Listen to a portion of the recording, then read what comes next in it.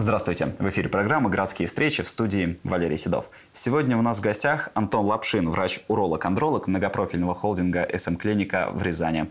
Здравствуйте. Здравствуйте. А, сегодня у нас тема беседы довольно-таки интимная, необычная, простатит. А, давайте начнем со снов. Что это такое за недуг? А, это такое заболевание, которое характеризуется воспалительным процессом в органе, в предстательной железе.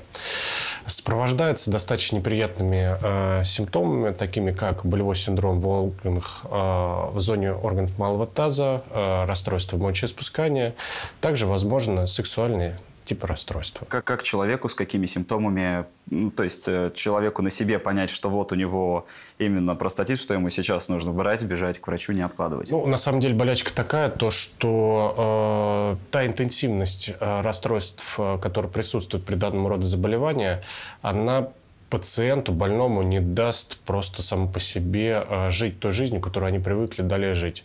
Так что человек в общей массе своей, в более чем в 90% случаев, э, правильно понимает то, что симптоматика достаточно выраженная, самочувствие крайне неудовлетворительное и, в принципе, приходит к врачу. Симптомы, как правило, опять же, это боли в нижних отделах живота, это расстройство мочеиспускания по типу безотлагательных позывов, учащенного мочеиспускания, болевого мочеиспускания и отчасти, возможно, какие-то проявления в плане э, расстройства сексуальной функции. Если простатит не лечить, игнорировать, пить болеутоляющие, к чему это может привести? Ну, на самом деле, если это истинный простатит, э, то есть действительно, то есть который э, с сильным инфекционно-воспалительным процессом, игнорировать его в принципе не получится. То есть э, в любом случае, даже при наличии лишь одних более утоляющих, все симптомы комплекс, который присутствует при данном роде заболевания, они полностью от всего не спасут опять же, если это игнорировать, это может вылиться в достаточно тяжелое состояние, вплоть до уросепсиса. Что такое уросепсис? Это острое, э, по сути, свое заражение крови, вызванное э, инфекционно-воспалительным процессом предстательной железы. То есть крайне тяжелое состояние. Но опять же хочу подчеркнуть, что это крайне редкий случай. Это все отдельные типы, которые присутствуют. Проще говоря, игнорировать эти симптомы, которые присутствуют, их не получится. Вот, наверное, вот так вот более правильно будет сказать. А, перед нашим интервью я прочитал несколько статей об этом заболевании, и среди прочего там был а, такой миф, в котором говорится, что простатит, если им заболеть, то это навсегда. Это навсегда? А, ну, слава богу, что нет. то есть а, все это заболевание, так же как и ангина, как и ОРЗИ, ОРВИ, пневмония, бронхит также лечится. То есть, э, возможно, Э, можно говорить о том, то, что гипотетически присутствуют риски рецидива этого данного заболевания. Но в период ремиссии, то есть либо без симптомов течения, может быть 5-10 лет, 11 лет, либо всю жизнь. Э, человек больше не столкнется с подобного рода заболеванием. Как э, долго или как быстро он лечится? А, Все зависит от формы. То есть надо понимать то, что существует острый бактериальный простатит, хронический бактериальный и хронический абактериальный простатиты. Также существует бессимптомный простатит, по сути своей. Как долго его лечить? Если это бактериальная форма, то э, рекомендации, как правило, идут от двух до шести недель. То есть вот примерно вот такой срок лечения э, это включает в себя. Но надо понимать то, что если присутствуют какие-то подобного рода дополнительные отягчающие обстоятельства, то лечение может быть, в принципе, то удлинено, более длинно проходить. Ну, ориентировочно 2-6 недель. Все зависит от какого-то клинического случая, жалоб и возбудителя. То есть. На просторах сети мне встретился еще один интересный миф. Я думаю, вы о нем тоже не раз слышали. Очень хотелось тоже либо развенчать его, либо подтвердить, что простатитом можно заболеть, э, сидя на каком-нибудь холодном камне. И преимущественно говорят, что это болезнь каких-нибудь рыбаков, потому что, выходя рыбачить, они садятся на землю, на холодную землю с утречка. Правда ли это, что простатитом можно заболеть таким способом? Ну, это и миф, и не миф. То есть, э, соответственно, переохлаждение, про которое вы говорите, э, действительно, где человек сидит, эта зона, она в проекции предстательной железы находится. Чтобы понимать, предстательная железа интимно связана э, с шейкой мочевого пузыря и циркулярно охватывает мочеспускательный канал. То есть, соответственно, когда человек сидит на холодном, предстательная железа достаточно близко. При переохлаждении можно лишь говорить о том, то, что место иммунитета снижается, и если есть бактериальная контаминация органа, то гипотетически э, возможно провести, это может привести к воспалительному процессу. То есть гипотетически. На практике это еще не всегда так бывает. Но действительно определенная группа риска, она присутствует. То есть э, в том числе и рыбаки, и люди, э, у которых сидячий образ жизни, избыточная масса тела, определенные риски более часто встречания данного заболевания присутствуют. А, давайте с вами тогда немножко поговорим о профилактике. Вот э, люди с сидящим образом жизни, как э, им себя вести, что им добавить в свою жизнь или наоборот, что отнять, чтобы не попасть к вам на прием? А, ну, надо понимать, если у человека сидячий образ жизни э, и есть избыточная масса тела, то перво-наперво это, конечно, постараться нормализовать вес свой э, в плане сидячего образа жизни. Ну, банальные такие вещи, как э, физкультура, такая же по типу просто ходьбы, бега, либо велосипеда. Э, то есть э, это, в свою очередь, приводит к тому, что улучшается кровоток в органах малого таза и определенный тип простатита, так называемый конгестивный, то есть застойный, он в таких таких случаях э, встречается на порядок реже. Ну, и опять же, и регулярная половая жизнь. Но опять же, э, хочу подчеркнуть этот момент. Э, регулярная половая жизнь с знакомым партнером, то есть не стоит принимать мои слова вульгарно в том смысле, что она должна быть просто часто и регулярно. Она должна быть в первую очередь с проверенным партнером, потому что это тоже один из путей, которые могут привести к воспалительному процессу предстательной железе незащищенные половые контакты э, с человеком, у которого, например, есть какие-то проблемы, связанные с их интимным здоровьем. В плане посещения врача это должно быть э, посещение непосредственно вот уролога, андролога только когда появились какие-то симптомы или есть какое-то профилактическое посещение раз в год, раз в 10 лет? Ну, давайте, наверное, тогда так проговорим по этому поводу. А если пациент 40, 40 плюс, то это ежегодный скрининговый осмотр врача-уролога с определенными сдачей там, анализов, ультразвуковое исследование. То есть после 40 раз в год это просто правило хорошего тона посещать врача-уролога, потому что проблемы э, в нашей мужской жизни, они накапливаются в определенной мере и появляются более высокие риски развития не только инфекционно-воспалительных процессов в органах мочеполовой системы.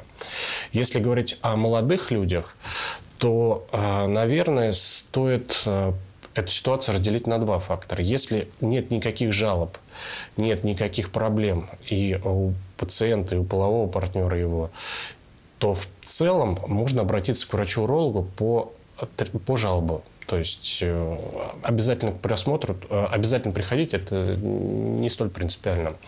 А в свою очередь, если уже переболели какими-то урологическими проблемами, а, то, наверное, раз в год, просто как диспансерный осмотр, да, вот это разумнее всего было так подойти. Мы коснулись того, что простатит очень тесно связан с половой жизнью. А, так вот, приводит ли простатит к проблемам с половой жизнью непосредственно? Он опосредованно, скорее, может привести а, в связи с тем, то, что предстательная железа – это добавочная половая железа. То есть, и а, она играет достаточно большую роль, в том числе для половой жизни. То есть, выраженный болевой синдром может привести к тому, что нет желания заниматься половой жизнью при болевом синдроме. Также возможно, помимо простатита, быть и осложнения этого заболевания, такие как воспаление воспалительное заболевание семенных пузырьков, визикулит, придатков яичка, эпидидимит и также цистит. То есть э, скорее тут связано именно с наличием болевого синдрома и вот дискомфорт, который создается при воспалении добавочных половых желез, э, приводит к ухудшению качества половой жизни. Но, условно говоря, эректильная дисфункция равно простатит – это неправда. То есть э, это два изолированных друг от друга заболевания. Сейчас а, есть одна проблема среди пациентов – это самолечение. Не знаю, сталкивались ли вы с этим или не сталкивались. А если сталкивались, то к чему может привести самолечение, игнорирование похода к врачу? Страсть наводить, наверное, не хочется. Ну, как минимум, просто то, что а, самолечение не приведет к излечению. Просто будут сохраняться симптомы либо в острые, либо в стертой их форме, но это будет продолжать сохраняться. То есть качество жизни значительно упадет. А, но плохой может быть. Мы просто может да... быть, может быть, может быть перепутать с онкологией это состояние, то есть а, это может перепутать с другими тяжелыми состояниями. А, это может привести к острым, то есть переходу в гнойно-септические состояния. Но опять же, не хочешь пугать то есть, как бы людей. просто достаточно, не, просто хотя бы надо не игнорировать эти симптомы, а обратиться просто к врачу. И в таком случае врач разберется эту ситуацию попытается вместе с больным решить. А, вообще говоря, слово простатит мы представляем себе, наверное, категорию мужчин 40 плюс и по рекламным роликам, и вообще по рассказам других людей, что именно они страдают этой болезнью. Так ли это, или простатит может охватить все возрасты? Все возрасты абсолютно. То есть, эм, условно говоря, простатит может быть вызван и специфическим то есть, характером, например, инфекция, передающаяся половым путем, может у 20-летнего парня вызвать, то есть также острый простатит. То есть, ну, условно говоря, вызванный специфической флорой. 40 плюс, наверное, потому что там скорее уже речь идет больше об аденоме предстательной железе, то есть увеличению в размерах э, и сдавлению мочеспускательного канала и появлению симптомов расстройства мочеспускания.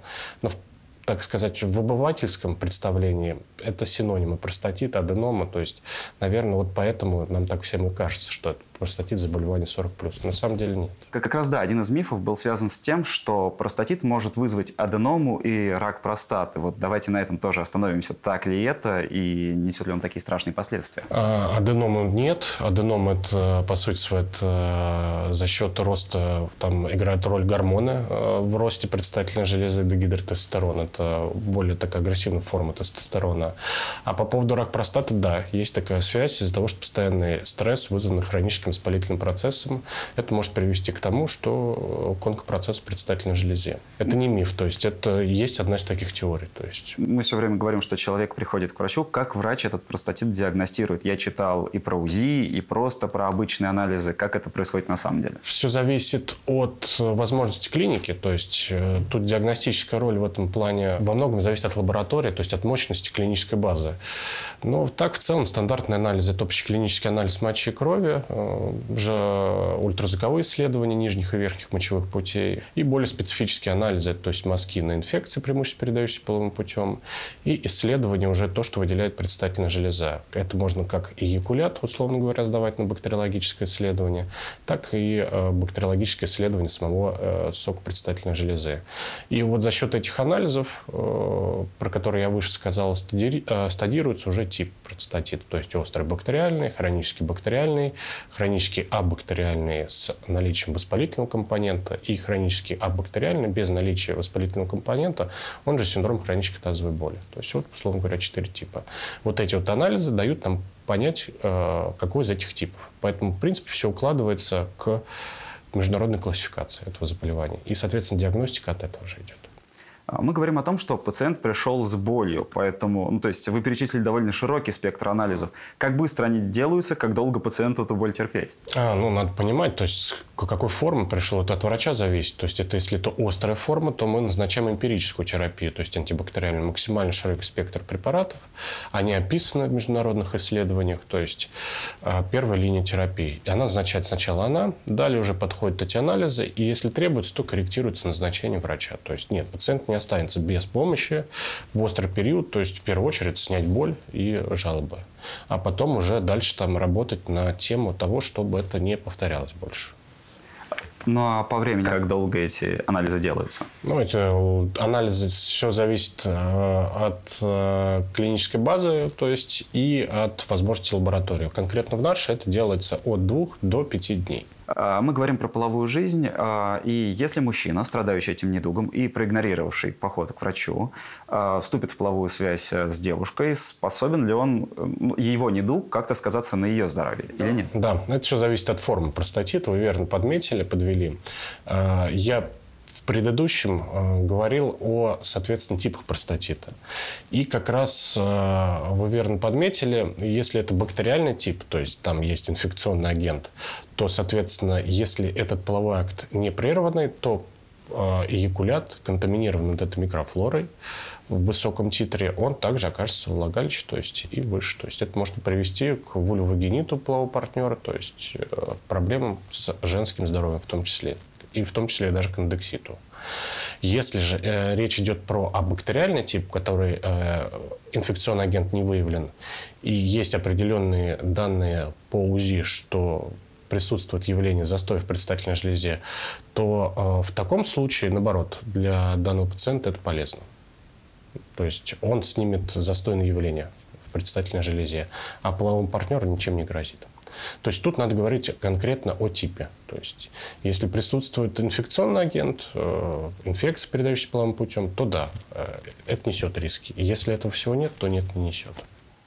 И давайте с вами под конец э, обобщим основные рекомендации, что нужно делать, какую жизнь вести мужчинам, чтобы на прием до 40 лет к вам не попадать. Ну, на самом деле, э, лучше враг хорошего. То есть, еще раз подчеркну эти моменты. То есть, это лишь одно из заболеваний нашего организма. То есть, надо вести просто в целом, в общем, э, здоровый образ жизни. То есть, регулярные физические нагрузки, э, постараться избежать э, избыточной массы тела, вести регулярную половую жизнь с проверенным партнером, стараться не переохлаждаться и стараться избегать крепких алкогольных напитков в холодный период времени, потому что это может привести к определенного рода проблемам, связанных с предстательной реализой, в том числе. Общие части такие, то есть здоровый образ жизни.